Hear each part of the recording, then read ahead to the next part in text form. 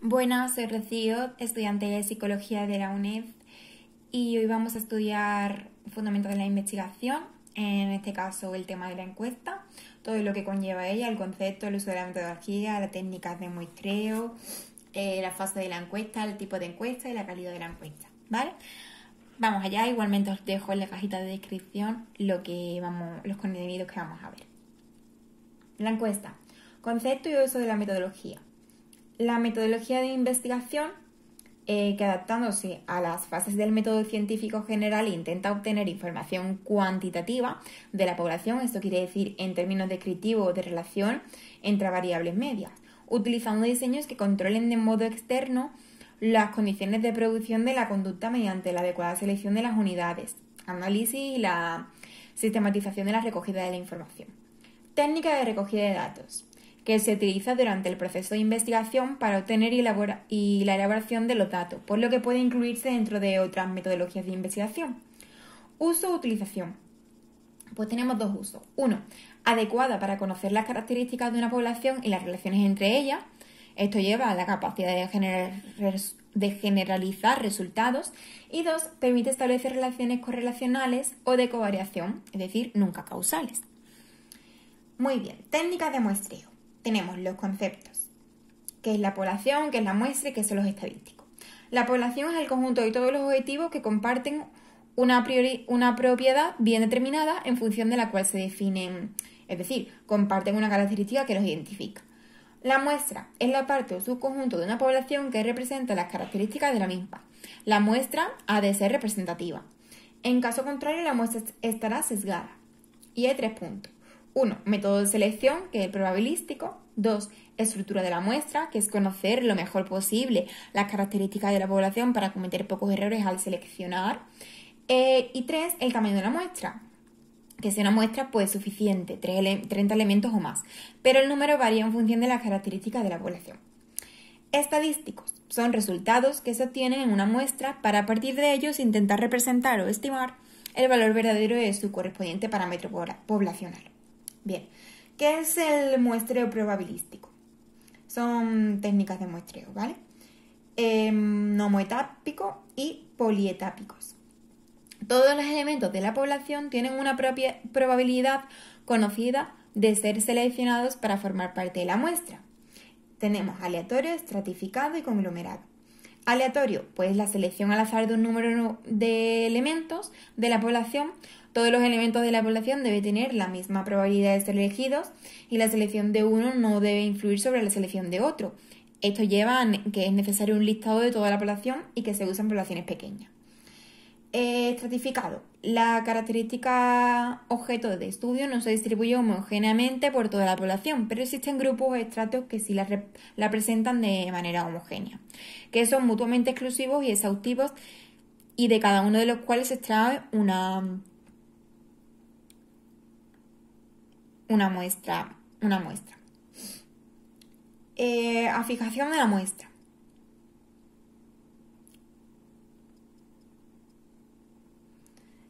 Es la distribución de las encuestas entre los diferentes extractos. Se hace mediante tres criterios. Uno, siempre proporcional y óptimo. Simple, el mismo número de participantes de cada estrato. Dos, proporcional número de participantes es proporcional al peso que cada estrato tiene en la población. Y 3. Óptimo. Se selecciona pocos individuos de los estratos muy homogéneos y muchos en los que son heterogéneos. ¿Qué son conglomerados? Pues se obtiene a partir de grupos ya formados. Los ejemplos son pues clases de colegio, equipos de liga de fútbol, ¿vale? Muestreo no probabilístico. Esto quiere decir que se desconoce la probabilidad de seleccionar cada uno de los elementos que forman la población. No es posible la forma aleatoria porque se desconoce el total de las unidades de la población. Son inaccesibles o se trasladan continuamente. Tenemos limitaciones de recursos que queremos, ser, que queremos solo un primer acercamiento menos riguroso. De rutas aleatorias. El entrevistador sigue un recorrido escogido al azar, fijando el punto de origen seleccionando las unidades de forma aleatoria. Accidental, incidental o subjetivo. Es la selección de los elementos de la población fácilmente accesibles al investigador. Y tenemos de conveniencia, de juicio o de población de difícil localización. De conveniencia, selección de casos disponibles en el, caso, en el momento del estudio. De juicio, selección experta. El investigador selecciona la muestra según su idea de quién o qué debe formar la muestra. Y de poblaciones de difícil localización. Uno de los métodos más empleados es el muestreo en cadena o bola de nieve, en el que un elemento de la muestra nos da un acceso a más. Luego seguimos teniendo más tipos de encuestas.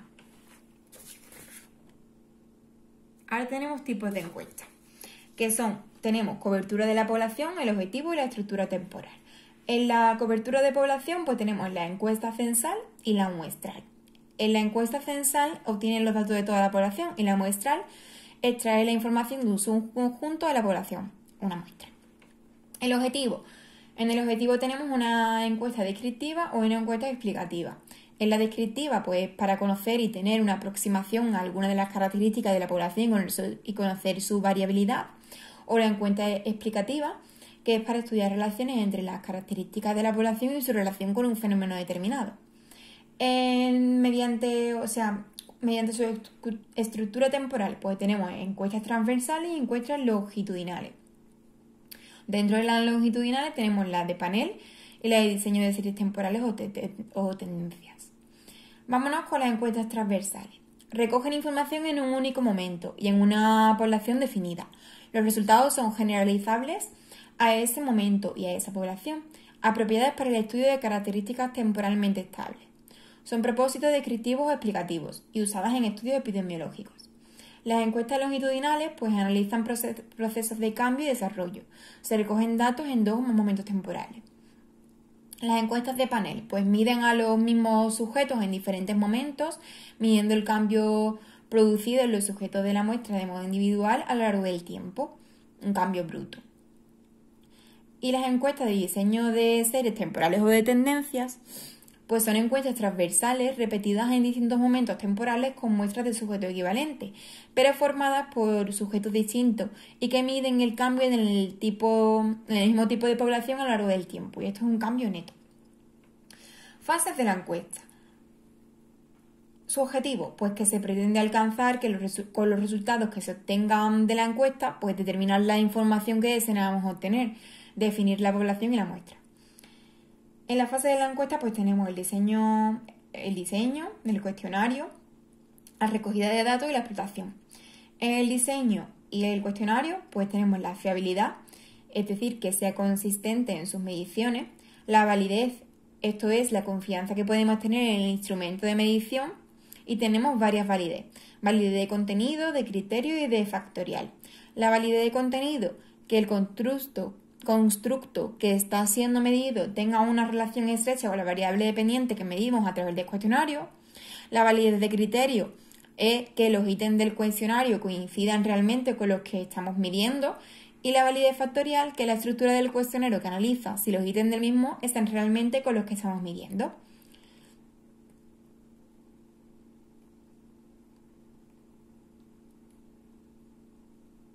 La precisión deben ser discriminativos, sensibles a la diversidad de respuestas obtenidas, no solo los extremos de la escala. Y ahora tenemos unos principios a seguir en la construcción. 1. Solicitar solo la información necesaria. 2. Hacer preguntas que sean posibles de responder. 3. Preguntas que obtengan información verídica, no preguntas de gran amplitud. 4. Preguntas que sean contestadas, no rechazadas. Tipos de preguntas. Tenemos abiertas, elaboración de la respuesta de un modo libre, cerradas, de elección binaria o de elección múltiple, esto quiere decir de escalas de categoría ordenadas o no, o de listados, o preguntas semiabiertas o semicerradas. En la redacción de las preguntas, pues tenemos que tener claro una redacción clara y simple y concisa, preguntas cortas, enunciado no ambiguo, cuidar el lenguaje con una gramática correcta, expresar una idea por pregunta, y la organización de las preguntas pues tiene que tener un orden claro, atractivo y fácil de seguir y que haga aparecer la prueba lo más corta posible. Dos, ordenar por bloques temáticos de lo más general, lo más específico. Y bueno, tenemos la prueba piloto, que es con una pequeña muestra para detectar dificultades de los participantes con el instrumento. Bien, la recogida de datos, otra fase de la encuesta. El trabajo de campo mediante el cual se obtienen los datos, asegurándonos que se hace en el tiempo previsto que las condiciones de los participantes son similares, que se responden todas las preguntas y que registramos las incidencias. Modalidades. Tenemos tres, cuatro modalidades. La cara a cara, teléfono, correo postal y email o internet. Cara a cara, poder evitar errores de no comprensión pero alto coste. Teléfono, más informal, más impersonal, más reticencia del entrevistado pero menos coste. Correo postal, rápidas y con respuestas más honestas, pero falta de respuesta mucho mayor. Y, cuatro, email o internet, que son mismas ventajas que las anteriores, pero restricciones en su acceso a la gente que usa este medio. Bien, otra fase de la encuesta es la explotación. En este caso hablamos de que es un proceso de codificación y registro de los datos, asignando valores a las respuestas dadas y analizando la información obtenida. Eh, tenemos en la encuesta descriptiva pues, la información sobre características de la población y en la encuesta explicativa la hipótesis de la investigación. Si las respuestas de la encuesta son de elección, el análisis es más rápido que si son abiertas, ya que habría que categorizar la respuesta. Calidad de la encuesta. Este es el último punto de la encuesta. Bien, pues tenemos errores asociados al muestreo, eh, que es la selección incorrecta de la muestra o estimación errónea del tamaño y amenaza la validez externa, es decir, los resultados no son generalizables. El error en el diseño del instrumento de medida, que es una mala construcción del cuestionario, una mala aplicación del mismo, la validez interna. Y errores en la explotación de los datos, es decir, errores en la codificación y registro de los datos, en la validez interna también. Vale, pues hasta aquí la encuesta. Espero que os haya sido útil para repasar con vuestros apuntes, para subrayar, para escuchar, para para poder tener diferentes técnicas de estudio. Y espero que os ayude, igual que a mí. Gracias y un saludito.